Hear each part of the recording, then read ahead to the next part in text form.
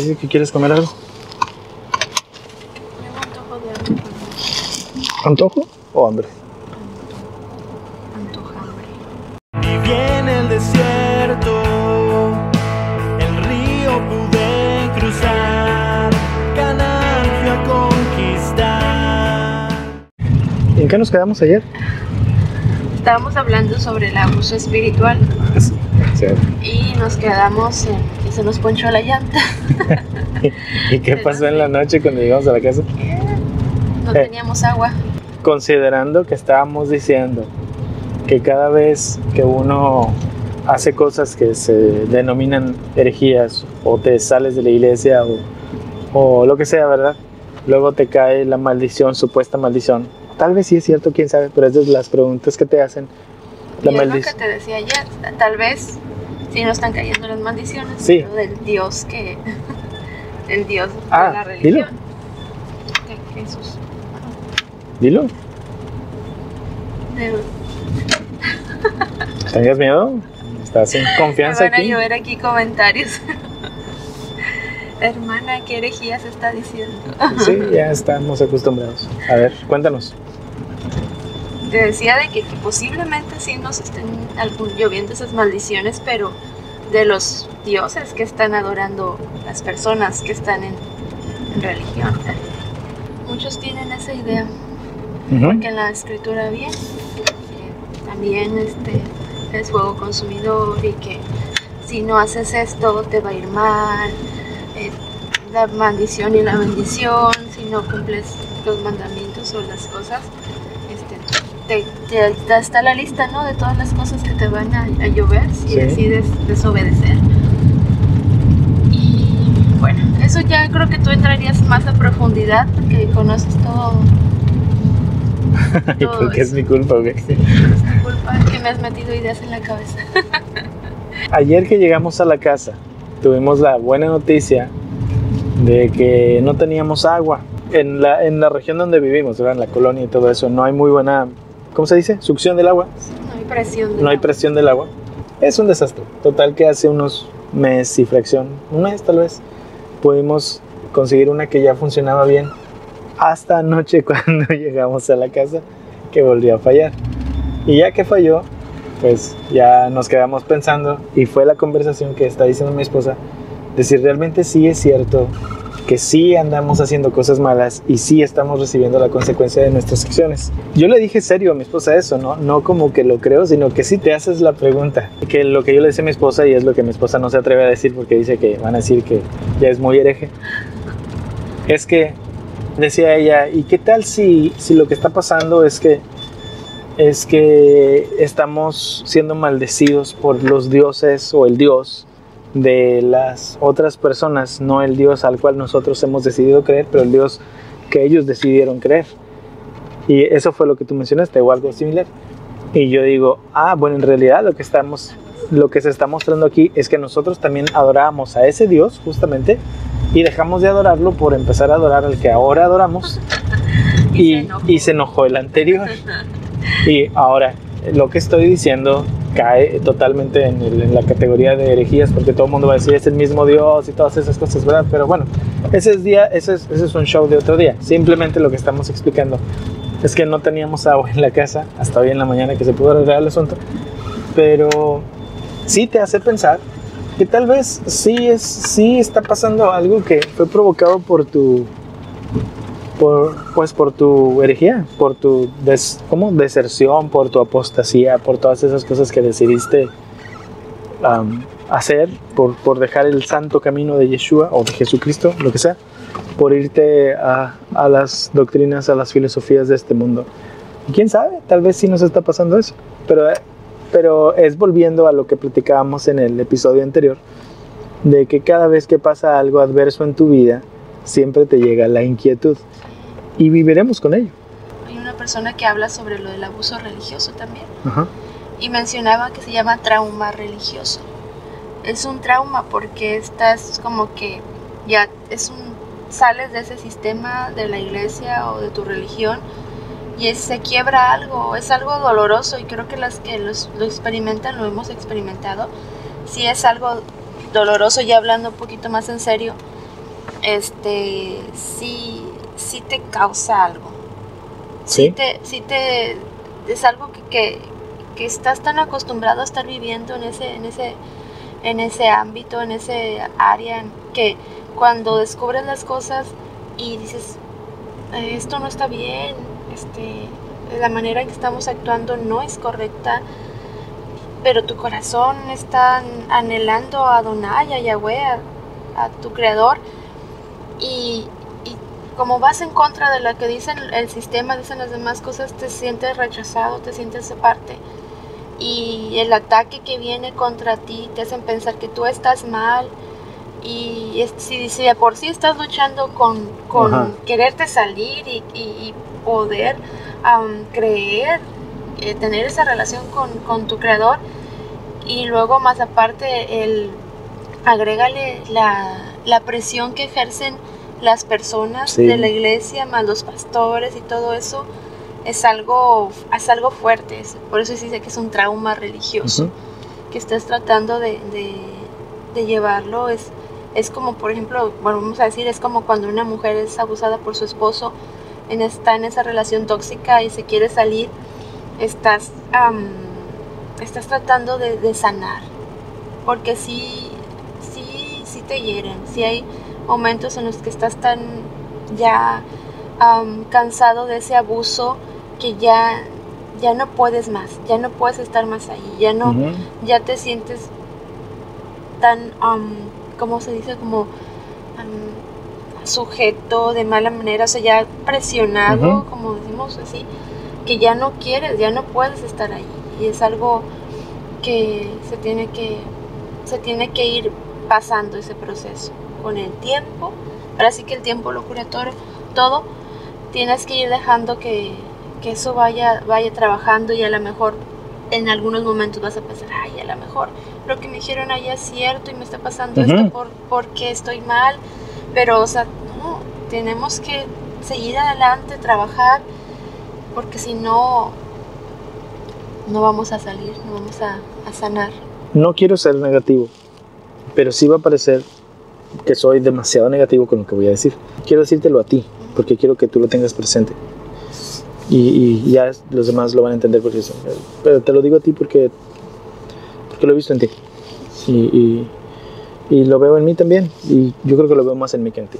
Es muy triste que por más que nos esforcemos por no preocuparnos, por, por no tener esta conversación de, de que cada vez que viene algo adverso, el sí, sí, sí estaremos mal, sí estará pasando esto por causa de, de aquello que hicimos o por lo que sea, nunca vamos a dejar de tener esta conversación. Es, es lo que quiero decir. Y eso es feo, pero es cierto. Sí. Nunca dejaremos de tener la conversación, pero lo que sí pasará es que cada vez que tengamos esa conversación puede ser que la tomemos de una manera distinta, pero siempre tendremos la conversación. No sé si me explico. O sea, es algo que siempre va a estar. Es como, ¿te acuerdas que te mencioné, que te dije, ¿se puede salir de esto? ¿Te acuerdas que una vez te mencioné y te dije, sí se puede salir una persona de este ámbito religioso? Y mi ¿Por respuesta bien rápida siempre Pues, es sí, que no. exactamente. Porque siempre hay algo, siempre, aunque tú quieras, eh, hay algo que te, que te identifica, que Siempre. te cataloga que ahí estás. Sí, tú, en totalmente. Ese ámbito, ahí estás. Siempre. Y es como, por ejemplo, la persona que, no sé, que quiere dejar las malas compañías o los que están en pandillas, que se quieren ir, pero ya no los dejan ir porque si no pagan las consecuencias. O sea, o no sé, es algo que siempre va a estar ahí. Tú puedes, o sea, no digo que no se pueda, tú puedes vivir tu vida sin eso y tener fuerza de voluntad y, y ya, ya vivir este de una manera consciente de que muchas personas a lo mejor piensan ciertas cosas de ti, pero tú no apropiarte de lo que, de lo que puedan decir. Porque si tú te apropias de esas cosas que la gente te está diciendo, vas a seguir, como quien dice, dándoles autoridad a ellos para que sigan, sigan este, teniendo esa influencia en tu persona y que puedan catalogar tu fe y que puedan decirte cosas y que no, no te den esa libertad. Yo creo que sí se tiene uno que, que armar de mucho valor, mucho valor y marcar una línea y un límite de saber, ok, soy una persona, pero tú no puedes definirme, no puedes definir mi fe, no puedes am, decir que si yo hago esto está equivocado, porque muchas, muchas personas utilizan la, la citan la, la escritura para decirte que estás en error, cuando sabemos que algunas cosas en la escritura, lo hemos dicho, no son necesariamente algo que Adonai dijo que, que se tiene que Ujú. hacer. Entonces, ¿con qué, ¿con qué argumentos más que no sabes si eso lo dijo Adonai o no, me puedes juzgar a mí, mi vida, lo que yo hago, las decisiones que tomo? Y creo que eso solamente lo hacen las personas que son muy valientes, muy valientes, porque siempre va a haber alguna persona que esté ahí. Estamos tratando de arreglar toda la cuestión de que cambiemos cámara y otra porque Cambiemos de cámara porque se calienta una y luego el asunto. Es como, es como tener bullying, no, no es como, es, es, es bullying espiritual. Es, es, una, es, es una persona que, o, o un grupo de personas o una institución que se apodera de ti, tanto que se mete en tu mente y, y vive gratis, rentando, renta gratis en tu mente. O sea, y, y aunque no te ofende todos los días, te ha ofendido lo suficiente para que tengas esa intimidación y que, y que no puedas estar cerca de esa persona sin tener la defensiva de que algo va a pasar. Y sobre todo si esto es, si eres una persona que hablábamos ayer, una persona que eres dependiente, vas a de todas formas volver a esa misma circunstancia. Bueno, Te encontrarás a ti mismo volviendo o repitiendo el patrón cuando estés en otro lado de tu vida, en otro momento de tu vida, con personas distintas, pero con, con la misma situación. Porque la gente está acostumbrada a eso, porque está normalizado el abuso psicológico y el abuso espiritual en medio de la institución religiosa, porque así es como se ha establecido la institución religiosa, a base de abuso de la gente. No existe tal cosa como una institución religiosa que esté dictada por Adonai. No, no existe, ni en la Biblia está. Y no estoy diciendo que no está en la Biblia porque los que escribieron la Biblia no lo hacían, sino porque el que supuestamente inspiró las cosas que están en la Biblia, que es Adonai, no estaba de acuerdo con eso y no está de acuerdo el día de hoy. No es para nosotros, o sea, que estemos sometidos a la autoridad de alguien más y nuestra vida en las manos de otra persona. Y algo que te quiero recordar, que cuando supimos que estaba yo embarazada, yo no, en parte no queríamos decir nada por todo lo que estaba sucediendo, de lo que se desató con todos esos señalamientos, videos de Sí. personas, Sí. personas que subieron videos según refutando todo lo que tú hacías, quién sabe, y, y atacando todo eso y hablando y maldiciendo, y es que le va a pasar esto y es que lo otro. Eso es abuso. El- es- Nosotros sufrimos ese abuso, por eso sabemos muy bien. Fíjense bien qué tan fuerte es el abuso que se queda en el corazón de una persona. Que nosotros no queríamos contarle a nadie que mi esposa estaba embarazada por casi todo el embarazo. Ustedes supieron que mi esposa estaba embarazada el día que nació Liana. El día que subimos el video fue el 4 de noviembre y ese día nació Liana. Y ese día, estando en el hospital, ahí contigo, me llegó un mensaje en Telegram diciéndome que había una persona utilizando mi nombre para pedirle dinero a la gente. Y yo tuve que grabar un video. Si usted lo vio, que dice están, están estafando personas o algo así, lo Dice, puse. haciéndose pasar por ti. Ese video lo grabé afuera del hospital cuando acababa de nacer mi hija. Y nosotros no queríamos decirle a nadie que nuestra hija iba a venir al mundo. Muy poca gente lo supo. Y seguramente lo supieron hasta gente chismosa que estuvo hablando mal de nosotros porque por una o por otra cosa se enteraron por chismes porque no fuimos nosotros que les dijimos. Pero eh, eso quizá le debe poner en perspectiva qué tan fuerte es lo que hace un momento atrás te estaba diciendo, de que por más que tratemos nosotros de escapar y conscientemente, digamos, eso no me afecta porque yo he decidido cerrar ese capítulo y esa parte de mi vida, en el corazón siempre está, siempre estará, y es triste pero es cierto, siempre estará ese, No. esa secuela de, de- de las, las cicatrices de, de vivir ahí. Y tú sabes cómo soy y me conoces de que no me dejo yo mover por las por lo que digan las personas. Cuando yo estaba en la iglesia, que empecé en el cristianismo, yo miraba como todos se lo tenían que consultar al pastor y decir y todo. Y a veces yo me hacía preguntas, pero ¿por qué así? ¿Por qué esto y lo otro? Yo a veces quería involucrar a, a muchachos, a jóvenes a que hicieran ciertas cosas, pero no se podía porque eran jóvenes que no estaban, o sea, como que no eran santos, no eran así, no tenían el nivel que deberían de ser considerados como jóvenes buenos para que hicieran ciertas cosas. Este, yo lo que quería tratar de hacer es motivarlos a que buscaran, a que, verdad, con una buena intención. O personas que las, que las etiquetaban de que no, porque esta persona está divorciada, no puede predicar, no puede hacer esto. Y después cuando llegamos a, a la iglesia donde tú estabas, que llegué a asistir, que miraba también que ahí era otro tipo de ambiente, pero eran muy de que sí, sálganse todos, vamos a bailar y vamos a danzar. Eso es lo que menos te gusta. Vénganse. Y yo, ¿por qué voy a hacer lo que me está diciendo alguien enfrente si yo no siento ahorita moverme? Sí. ¿Por qué me voy a mover? Si se supone que debo estar dirigida por el Espíritu Santo, ¿por qué me voy a dirigir por lo que me está diciendo enfrente? Entonces estoy, estoy, estoy actuando carnalmente, no espiritualmente. No lo puedo hacer. Y, o sea, no me muevo si yo no siento de Adonai hacer algo o moverme.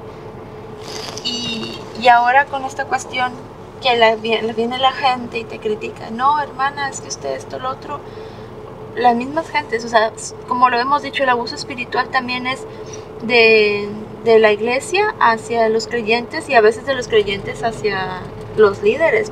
No solamente el, el pastor este, puede ser narcisista, también hay muchos creyentes que son así y que quieren abusar de, de, pues, de un pastor que tiene alguna buena intención de ayudar. Y Te quitan las ganas de querer hacer algo bueno, Sí. la verdad.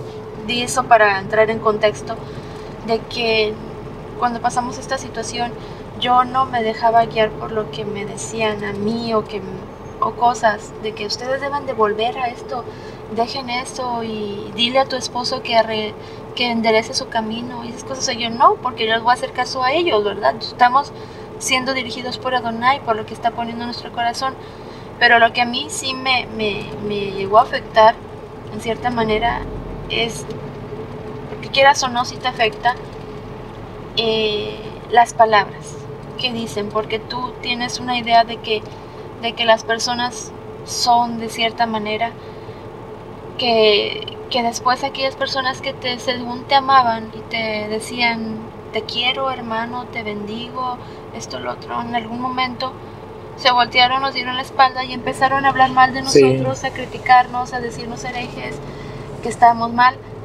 Pero es triste porque te dicen, no estás mal, eres un hereje, eres un pagano, te estás saliendo de esto, pero te amo. Pero que Dios te bendiga, pero hermano, y o sea, no sé. Entonces, por esa cuestión nosotros ocultamos lo de fin. también. La hipotenusa, ¿no? Sí. por esa cuestión mejor dejamos lo de Liana para nosotros.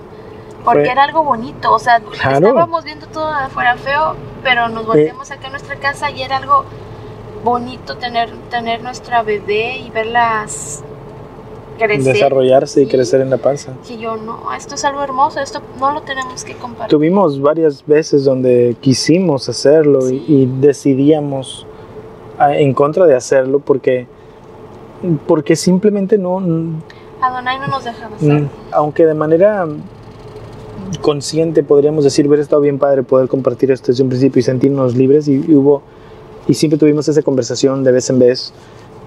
No, no, no lo hacíamos porque como dice mi esposa no, no nos dejaba Donai pero poniendo un ejemplo muy claro yo, yo le dije a mi esposa es bien sencillo para mí lograr que todas esas personas cambien de opinión y no que cambien de opinión pero que cambien el comentario y es hacerles un video en contra del cristianismo si empiezo hablando acerca de esos cristianos que no guardan el Shabbat, esos mismos que hoy me dicen ustedes un hereje, misma persona en la siguiente publicación ya estaría diciendo, Shalom hermano, amén, así debe ser. Y eso nos hacía a nosotros decir, no queremos que de los labios o de los dedos de esa persona, de cualquiera de esas personas, salgan supuestas bendiciones cuando sepan que van a ser nuestra hija.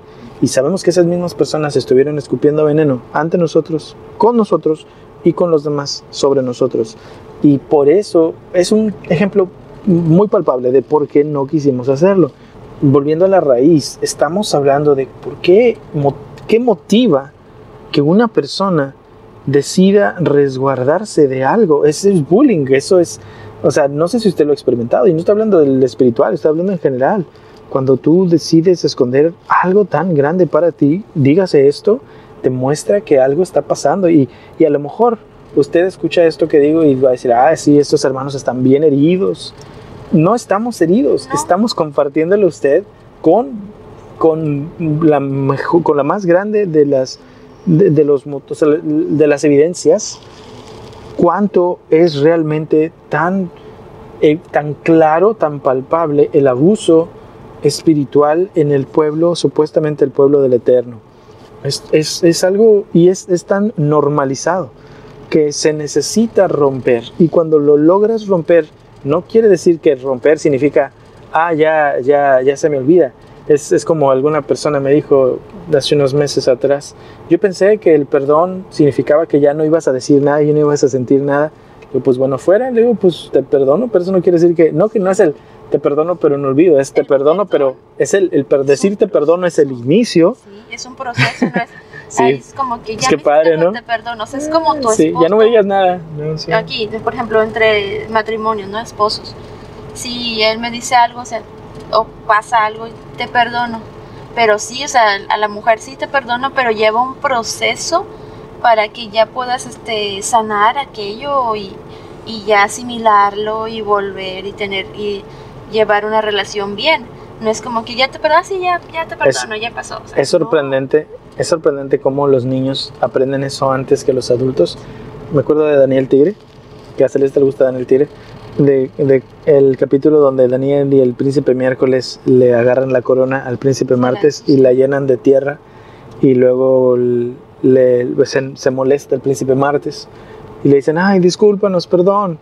Y luego le dice, es- se queda callado, dice, ¿está bien? Los perdono. Primero cuenta, dice, a ver, no te enojes. Uno, dos, tres, cuatro. Cuéntenme qué pasó. Y, y ya le dice, no, perdón. Y dice, está bien, los perdono. Y luego dice, la siguiente cosa es, ¿quieres jugar conmigo? Le dice el príncipe miércoles. Y le dice, no. Y le responde, dice, le dice que no. Y él, y Daniel y el príncipe se quedan serios. Pero ya te pedí perdón. ¿Por qué no quieres jugar? Y me acuerdo de Celeste, porque es una actitud de un niño. O sea, Celeste luego de repente hace algo que no está bien, como cualquier niño lo hará, y le llamamos la atención, y luego se disculpa, y luego quiere jugar inmediatamente porque es la forma en la cual ella quiere poder restaurar las cosas en su mente de niña. Y nosotros a veces como, como adultos, a, veces, y no podemos hacerlo inmediatamente porque, porque el niño es más sencillo de, de cambiar de opinión y al adulto no, porque se te queda, porque tú ya estás, tú ya tienes bagaje, estás ya mal, maleado por muchas cosas que han pasado, que te cuesta trabajo rápidamente volver a ese momento donde estés listo para lo demás. No significa que, que debes olvidar inmediatamente y debes hacer, porque siempre nos dicen, seamos como los niños que pelean y al ratito están jugando. Sí, pero seamos realistas también, no siempre se puede. Pero claro, debemos tener la intención de no quedarnos enojados siempre, ¿verdad? Pero, pero, como, pero cuando como adulto esperas que las cosas así de rápido, como yo decido esto, ya cambien, no se puede, porque el perdón, el amor, el, el, el decidir dejar una situación, removerte a ti mismo de una situación de toxicidad, no, o sea, es un acto que para llegar a esa decisión es bien difícil. Y Tiene que haber una restauración. y después de eso, a veces se necesita, como dices, un periodo largo de restauración. Y entonces, con el paso del tiempo, tal vez un día puedes volver a ello. Es lo del, lo del tema de la Navidad, de las, de las etapas, que no son etapas nada más para la cuestión de dejar la Navidad, es, simplemente cómo, te- cómo te remueves de un vicio que has hecho y cuando un día, con mucho tiempo en el futuro, puedes volver a enfrentarte a eso, o sea, es decir, salir de tu Egipto, pasar por tu desierto, llegar a tu tierra prometida y con el paso del tiempo poder enfrentar otra vez tu Egipto, pero ya no como estabas antes. La gente que cuando decimos esto, lo vimos en el video de las 10 etapas de la Navidad, cada vez que veo que me dejan un comentario, dice, usted está tratando de que la gente vuelva a, a la, a, a Egipto, usted está... eh, yo nada más me dan ganas de responderle, usted está en el 2, usted está en el 3, usted está en el 5, usted... Porque eso es lo que tienen. La gente simplemente te muestra dónde está parado. Sí necesitas removerte de esas circunstancias, pero sí cuesta trabajo. Primero removerte y tras removerte, quitarte de ti todo lo que eso te ha dejado. No podemos este, pintarle las cosas de color de rosa. Sí va a haber momentos en los que dudes. Sí, sí, sí, los hay. Pero creo que, que cuando te ves viviendo la misma situación en la que has estado viviendo y, y haciendo las mismas cosas, te va a decir, no, yo no quiero vivir toda mi vida así, Estar toda mi vida haciendo esto mismo y enseñándole esto mismo a mis hijos y que sean de la misma manera de las cosas que yo veo que están mal.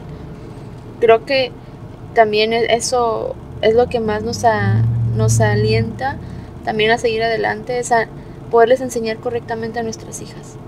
Porque Sí. si estamos en ese mismo ambiente, van a ser igual, van a ser criticonas, juzgadoras, eh, controladoras. Y, no es eso, no se trata de eso. No se trata de dictarles qué es lo que tienen que hacer las personas. Y por eso dice en la escritura que conocerás la verdad y la verdad te hará libre. Pero es poco a poco, es quitándote todas las cosas que, que hemos aprendido mal. Es evolución lo que tú estás mencionando. Ese crecimiento de una persona en su vida, pero ese crecimiento de tu vida, en, como la evolución lo es, aunque parezca un cambio gradual casi imperceptible, sí tiene momentos donde hay necesidad de paradigmas que se deben romper para realmente cambiar. Y si no los haces, te estás estancando. Es como lo que decíamos, ¿no? Que crecer duele.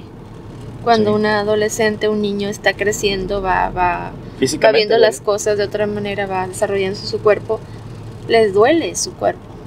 Por eso se duermen duelen, mucho los sí, adolescentes. Entonces, así es, el crecimiento siempre va, va a ser doloroso. Habrá momentos donde tu vida te lleve a momentos donde tengas que cambiar. Que si no haces ese cambio, es como cuando tienes un auto estándar. Sabe muy bien, porque el motor te lo muestra, cuando ya la máquina está llegando a su límite y, y- y dices, ¿por qué se siente como que se amarra? Porque necesita cambiar de gear, en inglés dicen, no sé cómo son los cambios en español. Tienes que cambiarlo, ¿no? Si no cambias eso, la máquina entonces seguirá amarrada. Pero el momento en el cual haces el cambio, la dices, ah, ¿qué pasó? Se sintió como que ya no está topando la pared, está dándole para adelante, porque ya cambiaste. Cuando llegan esos momentos en tu vida y no haces esos cambios, es justo en ese momento donde tú te estancas y es en ese momento donde sí, donde empiezas a darte cuenta de que lo que había sido para ti algo bueno, algo que te gustaba, que disfrutabas, se empieza a sentir como algo incómodo. Y es algo que platicamos tú y yo respecto hace unos meses atrás. ¿Cómo reconocer cuándo debes cambiar y cuándo debes dejar una etapa anterior de tu vida por otra nueva? No es que todo lo que hemos hecho antes es malo, porque si tenemos esa actitud, entonces nunca vamos a ser estables, sino más bien que todas las cosas tienen su tiempo y su momento y las disfrutas por lo que son, pero un día en eh, esas cosas como persona tú empiezas a crecer y quizás lo que hoy te llena, mañana no te llene completamente y sientas necesidad de algo más y entonces empieza en ti esa cosquillita por querer ir más adelante. O sea, si en la etapa en la cual estás el día de hoy, tú, tú ya estás listo para ir más adelante, pero has sido enseñado a que no debes cambiar de etapa porque la etapa en la cual estás es la definitiva de tu vida. Y si se te oprime lo suficiente en tu mente la idea, si se te mete la, la, la idea constantemente de que ir más allá es, es, es dejar lo que es correcto, es decir, lo del queso, ¿no? Lo de dejar el queso bueno por ir un queso que tal vez nunca encuentres. Si se te sigue metiendo eso en la cabeza, en el corazón más bien, tu mente, aunque quiera crecer, no podrá hacerlo porque siempre estará amarrada a, ay no, es que tal vez si yo busco esa nueva etapa de mi vida, eh, me voy a perder, etcétera, etcétera, etcétera. Siempre vivirás estancado cuando una persona empieza a darse cuenta de que necesitas crecer como ser humano, ni siquiera estoy hablando espiritual, pero claro, si eres una persona espiritual, pues en el sentido espiritual, y no significa cambiar de una iglesia por otra ni nada por el estilo, aunque a veces ese es el, esa es la forma de manifestar el cambio, ¿me explico? Porque puedes cambiar de 10 iglesias y seguir en el mismo nivel espiritual de tu vida. O puede ser que un cambio de iglesia sí sea la manifestación de un cambio espiritual también. O sea, todas esas cosas, cada vida es distinta. Pero cuando empiezas a darte cuenta de que es necesario el cambio y empiezas a cambiar, al principio duele. Porque dejas muchas cosas por otras nuevas. O sea, es normal. Pero luego con el paso del tiempo te empiezas a acostumbrar a darte cuenta de que Adonai nunca nos quiere como personas estáticas, sino que vayamos creciendo y te empiezas a acostumbrar a los cambios. Y cuando te empiezas a acostumbrar a los cambios, ya no cambias todos los días, sino simplemente llegas a una etapa nueva de tu vida, eres feliz en ella, pero sabes que tal vez un día en el futuro esa etapa pase a otra etapa distinta. Y mucha gente no lo entiende. No puede superar los rompimientos amorosos o la muerte de un familiar sea el trabajo o, es, es, el no haber terminado una carrera, o sea, el sentir un, una etapa que cambió, que a veces simplemente es la vida haciendo cambiar las cosas, como la muerte de un familiar o el nacimiento de un hijo, o que se te case un hijo, que hay mamás que lloran, por eso muchas madres no quieren a la nuera, porque les robaron al hijo, y esa es la actitud normalizada. Eso está mal. Eso es, eso es, eso es malo. ¿Por qué? Porque hay una dependencia. Mientras no podamos nosotros saber que lo más constante en la vida de una persona es el cambio y que estamos hechos para cambios, siempre seguiremos metiéndonos a nosotros mismos en circunstancias donde estemos así como que dándole vueltas a la misma situación y por lo tanto no creciendo y dejaremos de ser. Eso es evolución, porque aunque no parezca que creces, evolucionas, pero el problema es que la gente evoluciona para mal y dejarás de estar creciendo para bien y dejarás de ser tú el oprimido para convertirte en, convertirte en el opresor de otra persona después de ti, uno de tus hijos supongamos, que ahora ese necesita crecer y tú no lo estás dejando. Como esas mamás que dicen, yo voy a tener seis hijos y la última se tiene que quedar conmigo y esa no se va a casar. Y nos da risa hoy, pero es verdad, hay gente que es así, son tradiciones, pero son, son cuestiones metidas en la mente de la gente por causa de la mala crianza, de la mala forma de vivir y todo se manifiesta porque todos traemos todas esas cosas cuando nos reunimos socialmente con alguien más y ponemos nuestra voluntad en manos de otra persona y se llama iglesia. Y por ahora voy a hacer una pausa porque voy a comprar algo. ¿Cómo se siente el abuso espiritual? ¿Cómo identificar si estoy en una secta o grupo coercitivo? ¿Cómo identificar si estoy en una secta? Uy, que son dos. ¿Cómo de una iglesia abusiva? Mira, vamos a hablar de algo importante. Que tengo hambre. La película de Rapunzel, para quien no la haya visto, porque luego piensa que las cosas de Disney son satánicas y todo eso, y, y pues seguramente, pero en todos lados se cuecen habas y en mi casa más, decía este Cervantes de Saavedra. A todo le puedes encontrar algo bueno a fin de cuentas. Rapunzel crece en una torre y crece con la idea de que es hija de la mujer que la está criando, que, que técnicamente no es mamá porque la secuestró cuando era bebé para quitarle los poderes que tiene. Los niños se emocionan porque Rapunzel tiene un cabello que tiene poderes y la gente grande dice, es magia, ah, quémenlo con fuego. Entonces así somos. Pero cuando vemos la, la historia humana detrás de todo ello, hay tanto que poder analizar, porque eso es lo que debes tomar de las historias. La veracidad de las historias que tú escuchas no debiera ser el centro de, de tu objetivo al escuchar tal historia. Y no estoy hablando de la Biblia, pero ahora sí voy a hablar de la Biblia. Si yo te cuento la historia de Pinocho, tú sabes que Pinocho es un... Siempre pensé en un muñeco guapo de cartón, pero ese es ping-pong. Ah, Pinocho es un muñeco de madera que, que luego cobra vida, ¿no? No es nada más, o sea, nada más alejado de la realidad, no es, no es real, no hay muñecos de madera que cobran vida. Pero la historia que te deja, eh, pues te dice no digas mentiras, etcétera, etcétera, no te vayas con extraños, ¿no? La pregunta es, si esa historia no es verídica, entonces tú no vas a hacer caso de esa historia. ¿Esa no es Atalia? No. Está igualita. Qué bueno que se está grabando. Y decimos, ah, no necesito que la historia de Pinocho sea literalmente verídica para que tenga un valor que dejarme la historia, ¿verdad que sí? Pero cuando vamos a la Biblia, al parecer si la historia no es verídica, entonces no tiene ningún tipo de valor. Y, y eso es lo más absurdo del caso. Pero no es el tema del día de hoy. Se va a quedar para más adelante algún día que hablemos sobre eso. Pero también es algo que ya he dicho antes. En la historia de Rapunzel entonces notamos que esta jovencita se la pasa siendo manipulada por su mamá en todo momento. Hay una súper buena canción que es la de Sabia es mamá, la mejor canción de la película, porque mande, Nada.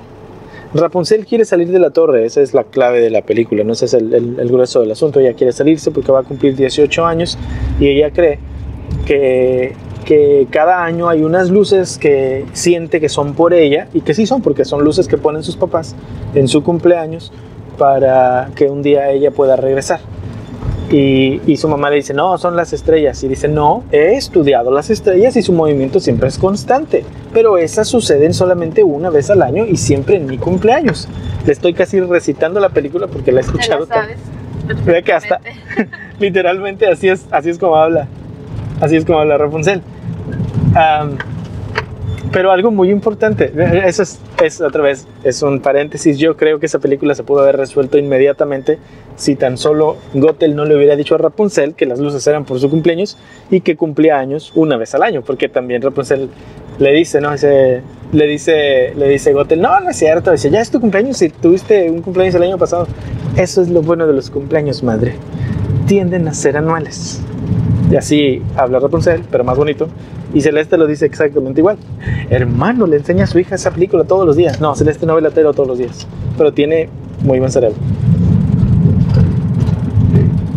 Cuando Rapunzel le dice a Gothel en la película que quiere salir y que quiere que ese sea su regalo de, de su cumpleaños 18, Gothel le empieza a decir que no lo haga porque ella siempre le ha mencionado que afuera hay personas que van a tratar de, de abusar de ella, de engañarla, de, de lastimarla, de, de comérsela viva prácticamente, ¿no? Que lo dice hasta en una canción y le empieza a decir, eh, tú crees que, que, o sea, le empieza a cantar, no sé, tú crees que puedes hacer esto y esto, pero no entiendes que mamá todo lo que hace lo hace con el propósito de poder Cuidarte. cuidarte porque tú eres demasiado ingenua. ¿Sabes, mamá? Ames tu soporte, sola no subsistirás. Siempre sin calzar, inmadura, torpe, viva te comerán. No les sigo cantando más porque me van a caer los abogados de Disney y me van a cancelar el video. Pero le dice de todo. Y Rapunzel termina más asustada después de la canción de lo que estaba al principio, de lo, del entusiasmo que tenía por salir. ¿Y qué pasa? Que termina diciéndole, eh, está bien madre, dice Rapunzel, no me vuelvas a pedir salir de la torre. Y entonces le dice, está bien madre, no lo haré. Y le dice, ay mi amor, yo te amo. Y luego Rapunzel le dice, yo te amo más. Y luego, en un detalle que tú no habías notado, Gothel le besa el pelo a Rapunzel y le dice, no, yo te amo más. Y le besa el pelo porque, ¿qué es lo que hace? Gothel no ama a Rapunzel. Gothel ama el pelo de Rapunzel que la mantiene, que la mantiene joven. Sí. Y todo esto tiene sentido, créanme, tiene sentido lo que les estoy contando. Porque en el momento en el cual Gothel se va, a Rapunzel se le vuelven otra vez las intereses de salir cuando conoce a un jovencito que llega y se sube a la torre, que es Flynn Rider, ¿no? Para ayudarla a salir. Técnicamente no se subió a ayudarla, se subió porque estaba escapando de que lo estaban persiguiendo por Ella robarse la corona. la oportunidad Le dio el sartenazo y, y le, lo amenaza, le dice, no te voy a dar tu mochila que, eh, hasta que tú me, me cumplas lo que yo quiero, que es salir de la torre y me lleves a, a- a ver las estrellas, ¿no? Y le confirma que son las estrellas de la princesa porque él no sabe nada. Eh, en fin, cuando sale de la torre está muy padre porque no quiere salir de la torre. Está, está, sí, lo haré, no, no lo haré, sí, no, sí, no. Y ahí está. Y cuando logra salir, baja y, y él el- toca, el, toca, toca el pasto y descubre lo bonito que es estar afuera, sí, pero luego se siente culpable. culpable, absolutamente culpable. Dices, dice, "Eh, este es el mejor día de mi vida, soy una terrible hija y está llorando. Dice, mi madre, ¿qué va a decir? Y Sí. tiene ese, ese, cul- esa culpa mezclada con alegría porque por fin está haciendo lo que ella sí quería hacer y al mismo tiempo está sufriendo porque le clavé una daga a, a mi mamá en el corazón y le dice Flynn Rider, sí, le hiciste lo peor, pero eres su hija, tienes que hacerlo, eres una joven y, y él, Ajá. él ha vivido en la calle tantos años que él, para él es algo normal, pero cuando la persona ha estado tanto tiempo enclaustrada, la persona que, está, que ha sido libre no se da cuenta de qué tan difícil es dar un paso para una persona que nunca ha dado tal paso. Esa Gothel es, es una representación total del sistema opresor que te ha tenido a ti en las garras y que, que, que te hace, que, que te da todo. Y que como te da todo, tú crees que es pues lo que tú, a lo que tú puedes aspirar. Cuando eres un niño, tal vez no te das cuenta de las cosas, pero conforme creces empiezas a necesitar un espacio más grande en tu vida. Te tiene contento porque sabe que eres de utilidad. Claro, pero, pero pasa el tiempo y, tú como ser humano empiezas a crecer y necesitas espacio, necesitas crecer en todos los aspectos. En la película o en la, en la historia de Rapunzel, que es un libro, eh, obviamente se, se ejemplifica ese deseo de salir con la torre donde ella vive. Y cuando ella pisa el suelo, como mencionas, se siente libre, pero se siente con mucho miedo. Sobre todo porque todo lo que sucede de ahí en adelante, y ella le dice, le dice a su mamá, si te olvidas, te castigas. O sea, tú solita te vas a castigar, va a ser tu consecuencia de haber olvidado lo que te dije, que sabia es mamá. Y cuando entonces Rapunzel sí se sale, pasa la película y su mamá llega a la torre, se ve que no está y sale bien desesperada y se la llega a encontrar mientras ella está muy feliz allá. Ah, una de las cosas que le dijeron fue que todas las personas eran malas. Y entonces ella piensa y le busca en los dientes a Flynn Rider si tiene colmillos, ¿no? Y piensa que todos son malos. Entonces eh, Flynn la lleva a una cantina donde hay puros hombres que son muy malos, pero justamente la canción muestra, la que ellos cantan, que son personas no, no unidimensionales, que no todas las personas son lo que aparentan en realidad y que, que todos tenemos algo distinto que hacer. Vienen unos hombres muy rudos que quiere uno que quiere tocar el piano. Y, sueños. Claro. ¿Y, y por qué? Porque todas las personas somos más de lo que de, de delante de nuestros ojos tenemos. Y es la religión, es el sistema de vida que hemos tenido el que nos enseña que solo lo que vemos a través de los ojos de los que nos autorizan qué, qué debemos ver, solo eso es lo, lo correcto y todos los demás son, son malos. Por eso a mí de niño me decían, es malo ir al cine, es malo tomar cerveza, es malo oír música del mundo. Y no le estoy diciendo que son cosas buenas, le estoy diciendo que cuando uno le dice a nuestros hijos, por buena intención, cuando les dices a tus hijos esto se hace o esto no se hace, cuando él es pequeño, él simplemente obedece o desobedece. Pero no puedes seguir tratando como un niño pequeño a una persona que va creciendo. Es responsabilidad tuya como padre de seguir conforme crece, seguir expandiendo un poquito el horizonte de tus hijos conforme ellos maduran y esa instrucción que le diste, ir expandiéndosela para que con el paso del tiempo entienda el por qué le dijiste que sí, por qué le dijiste que no, y tal vez con el paso del tiempo, conforme tú también creces, ese sí se convierte en un tal vez porque ahora está más listo, o tal vez ese sí se convierte en un no, o ese no se convierte en un sí o en un tal vez, porque la persona crece. Pero si somos tan raquíticos y tan cerrados como lo es el sistema religioso, que siempre nos, que, que nos dicen es que tú sí debes ser sí y tú no debes ser no, pero es una pésima forma de poder interpretar esto que está diciendo en la Biblia. Si no se refiere a que seas una persona honesta, no que siempre a, a lo que le dijiste sí, siempre le vas a decir sí, a lo que le dijiste no, siempre le vas a decir que no. Acción. no es así. Tienes que crecer.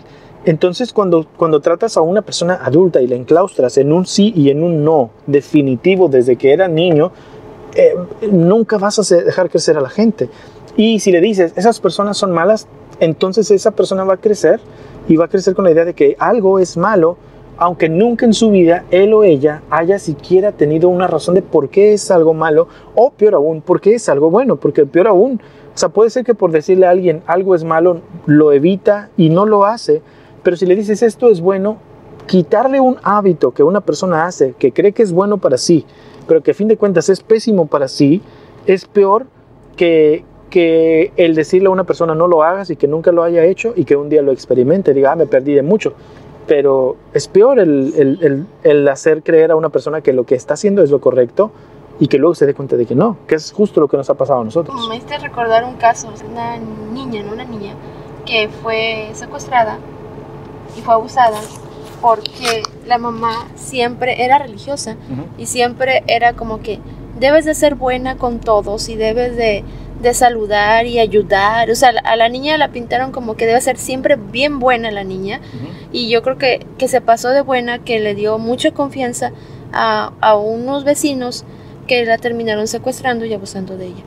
Entonces no podemos decirle todo es bueno, todo es así, porque también hay límites para lo bueno y para lo malo también hay límites, porque, por ejemplo, en el caso de que, que te tienes que defender tu vida, es- en cuestión del mandamiento de no matarás, o sea, si te estás haciendo, va tu propia vida o la de tus hijos, ¿no vas a defenderlos? Claro. ¿No vas a, a- a- a dañar a la persona con tal de defender a tus hijos?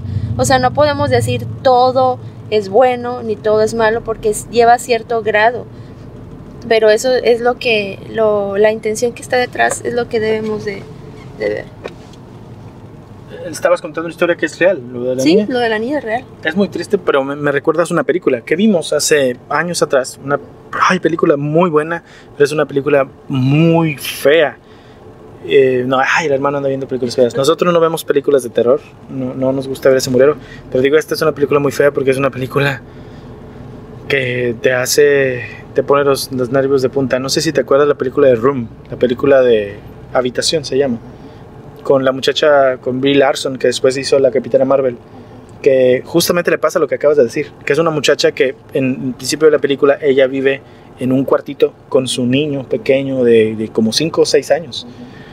Y resulta que ella está ahí desde hace, pues desde antes de que naciera el niño, porque ella está, estuvo secuestrada. Y en algún momento de la película, cuando, cuando spoiler, logran salir del cuarto, eh, resulta que ella, pues llegan a la casa de sus papás, ¿no?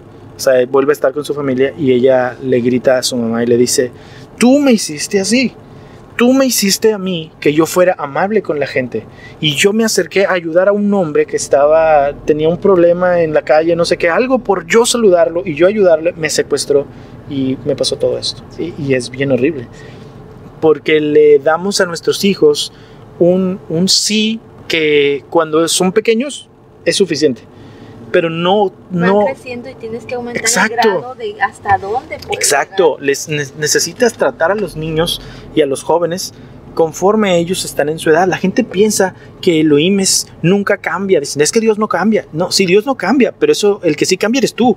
Y como tú cambias, el Eterno también tiene su forma de tratarte. Nosotros no tratamos a Eliana como tratamos a Celeste, y no tratamos a Celeste hoy como la tratábamos el año pasado, porque Celeste cambia y ¿saben qué?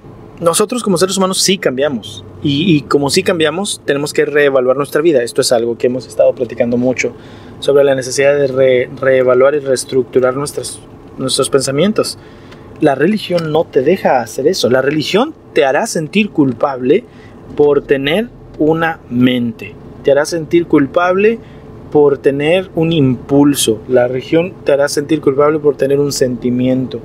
Porque la religión quiere de ti que tú seas un robot, que solamente digas sí, amén. Y cuando hagas eso, tú vas a ser útil para la religión donde tú estés. Mientras no hagas eso, cuando preguntes y cuestiones, tú no eres bueno, tú eres uno de los de la serpiente. Porque tienes ese pensamiento que dice, ¿y por qué hacemos las cosas? Su servidor cuando era muy jovencito fue con uno de los pastores que en ese entonces teníamos y le preguntó, ¿dónde en la Biblia dice que las mañanitas las cantaba el rey David? Y no me volvió a ver bien ese pastor, que muchos años después, cuando yo no iba a esa iglesia y mi esposa sí, y supo ese señor que mi esposa eh, ah, quería casarse conmigo, le dijo, pero ese es esto, es esto, esto, y le dijo todas las cosas que supuestamente yo era sin conocerme realmente. Tenía 15 años que no me había visto, o 10 años que no me había visto, y cuando me vio no, no le caía muy bien yo. Pero en fin, eh, la religión te hará sentir mal por tener un deseo de, de algo más y te hará sentir culpable y te hará que tú te disculpes y tú pidas perdón por tener siquiera esos pensamientos y eso se llama gaslighting. Es algo que he querido hablar desde hace mucho. Aquí vamos a concluir el día de hoy, pero es algo que he estado hablando, que es algo que ha estado en mi corazón desde que desde de que- construcción, ¿verdad? Desde de Desde que construcción lo empezamos a vivir. hemos querido, yo he querido platicar sobre esto. Es una palabra en inglés que en español no tiene traducción literal, pero se refiere a, a la luz de gas. Y dices, ¿y eso qué tiene que ver? Pero tiene sentido. Hay una película muy, muy vieja, de allá de, de blanco y negro en inglés, una pareja donde el hombre, el esposo, le estaba haciendo creer a la esposa que se estaba volviendo loca a través de prenderle y apagarle las luces de la casa y que cuando ella le decía, mi amor, está pasando esto, él le decía, ay, no es cierto, tú te estás imaginando todo. Entonces el hombre cada día le hacía más y más cosas para manipularla y volverla loca psicoloca, sí, psicológicamente, eh, psicológicamente prácticamente.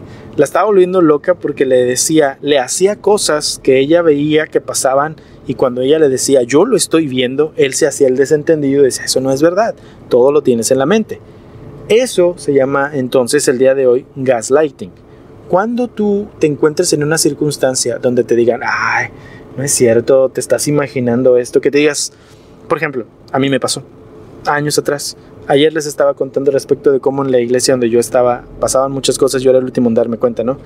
Luego, pues pasaban muchas cosas y cuando ya me, me empecé a dar cuenta y empecé yo a buscar respuestas, porque decía, esto no está bien, se supone que somos una iglesia porque estamos permitiendo esto, esto y esto otro, yo iba y hablaba con el pastor y le decía, pero ¿por qué esta persona está haciendo esto? Y, y hay evidencias de ello y se permite que siga haciendo esta administración si, si esta persona es así. "Ch, no digas nada, hay que orar por ellos. Eso es gaslighting. Porque te están diciendo, eh, estás mal tú por, por cuestionar, estás mal tú por sacar a la luz. Eso no deberías decir Aquí nada. No pasa nada, todo está bien. ¿no? Eso es gaslighting. Cuando te dicen todo está bien y sabes que no está bien y te acostumbras a que, bueno, pues es que así se hace, ni modo. Eso es gaslighting. Cuando tú dices, yo, yo quisiera buscar otra iglesia y te empiezan a decir, no, hermano, donde Adonai, donde Dios lo plantó, usted no se debe mover. Eso es gaslighting. Cuando empiezas a decir, esto es pecado. No, hermano, usted no tiene amor. Eso es gaslighting. O cuando dices, esto no viene de Adonai. Y te dicen, tú eres el hereje. Eso es gaslighting también. Cuando te hacen sentir que tu crecimiento personal tiene que ser determinado por lo que tu iglesia te diga y si te desvías poquito de lo que tu iglesia te dijo, o tu líder te dijo, o tu pastor, o tu roé, entonces tú eres el que está mal y ellos no van a hacer ningún tipo de reconsideración de lo que hacen. Eso es gaslighting. Hace muchos años atrás, cuando empezamos a predicar de identidad, utilizábamos una frase que dice que el problema más grande de las iglesias cristianas está en que no hay una auditoría de las creencias. Y esto no nada más pasa entre las personas en autoridad, pero pasa entre las autoridades religiosas y entre la gente en común, que no están dispuestos a cambiar o a considerar un cambio de pensamientos porque hay mucho en juego, porque tienen muchos intereses de por medio. Y el día de hoy pasa exactamente igual. Y cuando una persona sí quiere hacer ese tipo de cambio, las autoridades y el círculo de personas dominadas por tales autoridades le dicen a esa persona, tú eres el que está mal. Y le dicen, tú eres el hereje. Y si usted se siente así, si usted ha estado viviendo eso como nosotros lo hemos vivido, bienvenidos porque encontraron el lugar donde ustedes van a sentirse identificados. Por ahora nos vamos porque se nos está descargando la batería de la cámara. Nos vemos. Shalom. Van a escuchar mi canción más personal. Hace muchos años, inconforme con lo que me habían enseñado toda mi vida, decidí renunciar a todo y aferrarme al fuego que había en mi corazón desde que nací. Desde ese entonces entendí que mi fe no debía encajonarse en religiones o teologías, que si quería cumplir el propósito de Adonai para mí, debía ser uno y enfrentar las consecuencias. En 2009 escribí esta canción como una despedida a la religión que tanto daño me hizo, pero que sé que aunque me aleje, siempre estará presente. Cada vez que siento que necesito crecer y me detiene mi entorno, entono esta canción.